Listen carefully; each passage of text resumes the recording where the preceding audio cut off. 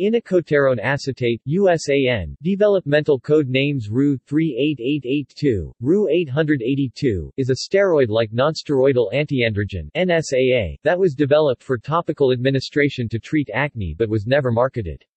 It is the acetate ester of inocoterone, which is less potent in comparison.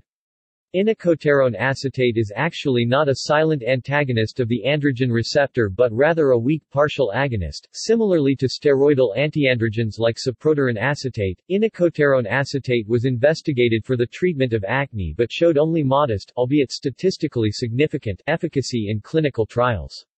A reduction of 26% of lesions was observed in males treated with the drug after 16 weeks, approximately 3.7 months.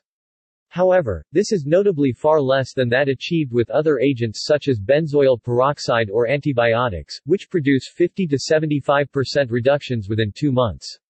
Similar poor results with the topical route have disappointingly been found for other antiandrogens such as cyproterone acetate and spironolactone.